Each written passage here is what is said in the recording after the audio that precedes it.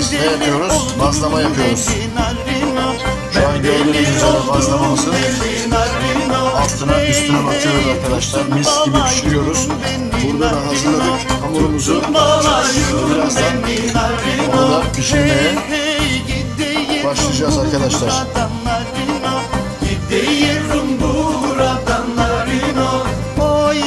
Evet dostlar gerçekten tavsiye ediyorum. Bazlama hem kahvaltıda çok güzel yeniyor. Bilginiz olsun. Tadı da mükemmel mis gibi.